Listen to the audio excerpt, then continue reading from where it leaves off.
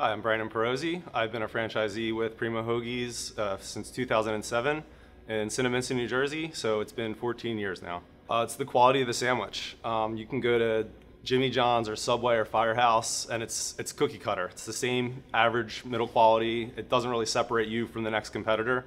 Primo's is top quality meats, breads, cheeses, um, and that's that's really what sets us aside. So it gives you an opportunity to be your own boss and make your own schedule. Again, it's really falls on your shoulders to be there and to make sure everything goes smoothly. Um, hiring a good management team really helps, but uh, it, it's your chance to be your own boss. You make your schedule. You you're there when you need to be. You can take off when you need to.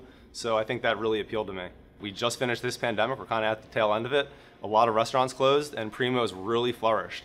So people don't want to go out to these higher end restaurants, they come to Primo's. We're a high quality sandwich. It's almost like a treat to some people. When you want something good, you think of Primo's. And uh, again, when things are going great, economy's going great, people go to Primo's. It's, it's just that, it's just, there's, we're right in that middle. When things are bad or good, we're, we're, we always fall in like the, that good, good point for people to get our product. There's certain days where I need to be with my family that I'm able to take off so it's, it's forgiving that way. And again, but it's demanding of your time in certain other aspects. So, but it's, it's forgiving in the, in the fact that I can schedule myself around when I need to be there.